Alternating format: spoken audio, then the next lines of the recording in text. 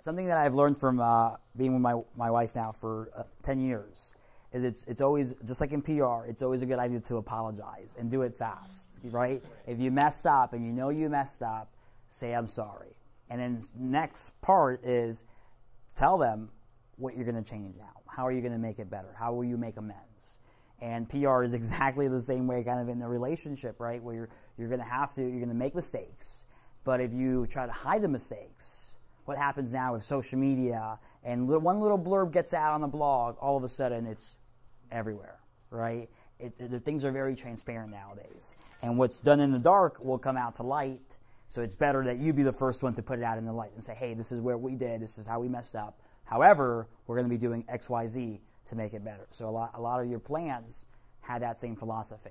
Now, a couple of things that you'll see and you'll notice when you start working with PR, PR is not kind of its own siloed department in, in an industry or in a business. They work with the executives. They work with marketing. They work with product development, right?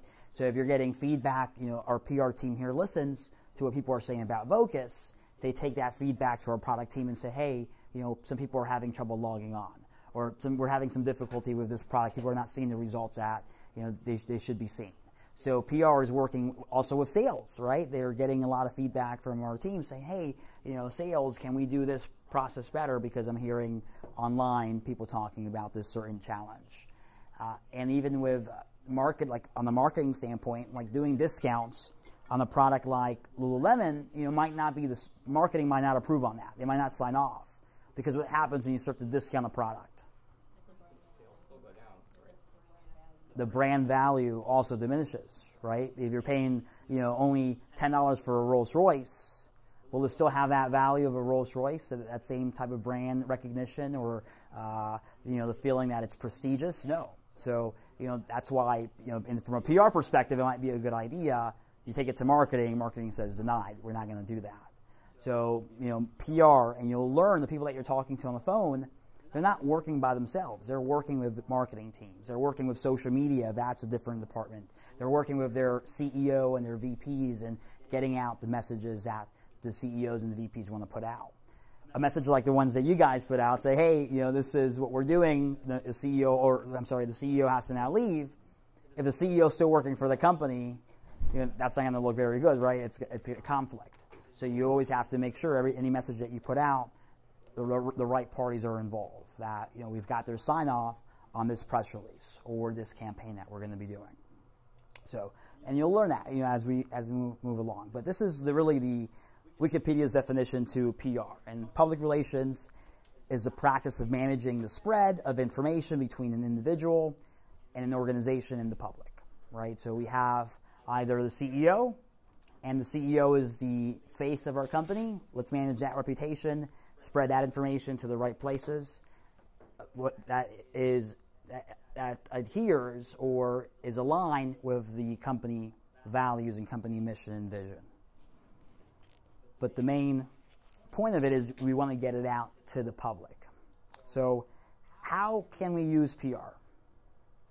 Give me some examples. Besides a crisis, like what happened with Lululemon, what are some other ways that we could use PR to the company's advantage? New product releases, great. What's another one? Promotions. Promotions. What type of promotions? I don't know. I was thinking like, you know, like baseball stadiums, like every other day they have like bobblehead day or something like that. And what would be the goal of doing that? Drive sales. Drive sales. So to drive sales, we're going to do some promotions to get more people to buy tickets. Mm-hmm. So let's say PR Web wasn't owned by Vocus; it was an outside company, and all of a sudden Vocus now is going to be partnering up with PR Web. We're going to be putting the releases out through this major wire service.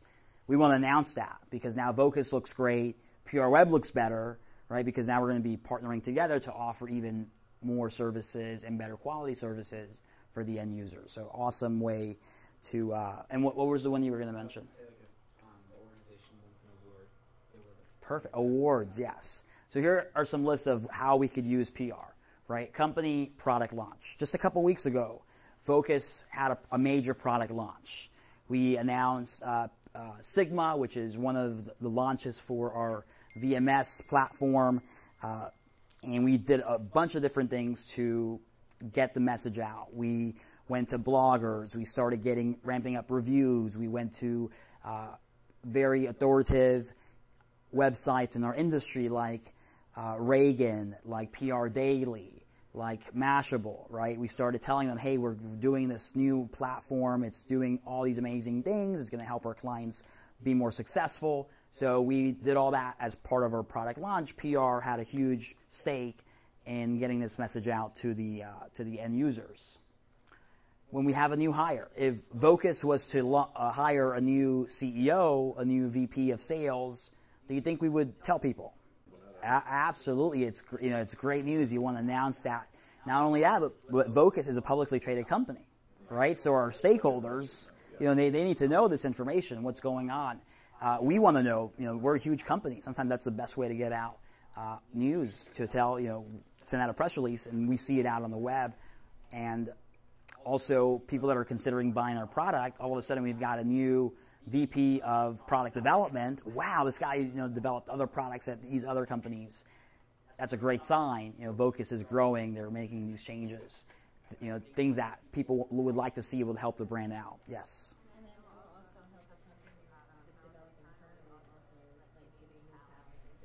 You got it. Yes, that's a great point. You know, we got a new VP of sales, and you know he's very his message has been of, always growing sales and investing more in our people and getting them better training.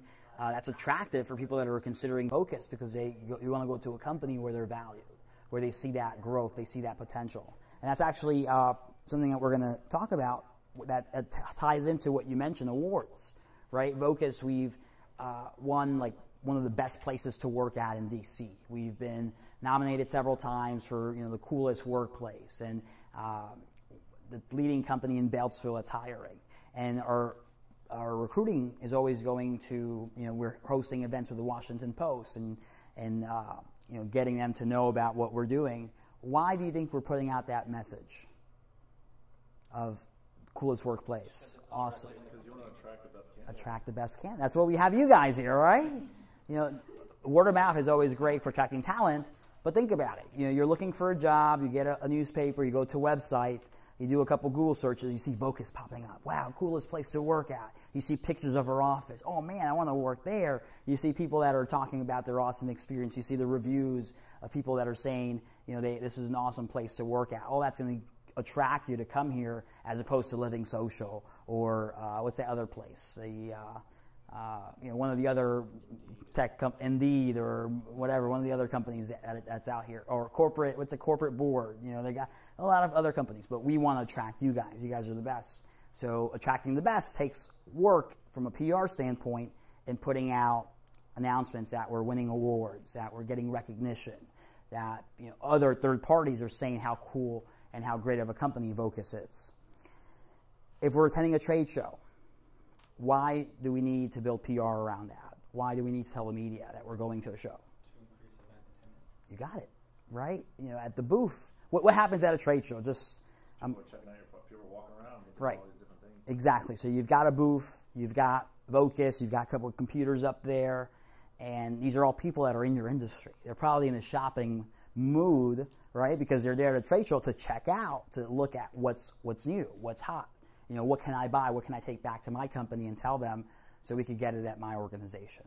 So when Vocus is going to these trade shows, you bet your butt we're going to be announcing it. We're going to be putting out a press release. We're going to be going to blogs. We're going to be tweeting it. We're going to be putting it on Facebook, on LinkedIn, etc. Because we want to increase attendance at the booth. We want more people to have a hands-on experience with our product, our tool, drop a business card off, turn that into what? Into leads that who's going to call? You guys, exactly. All right. So good PR will help drive that engine. It's not just about building the brand, but it's also about making money.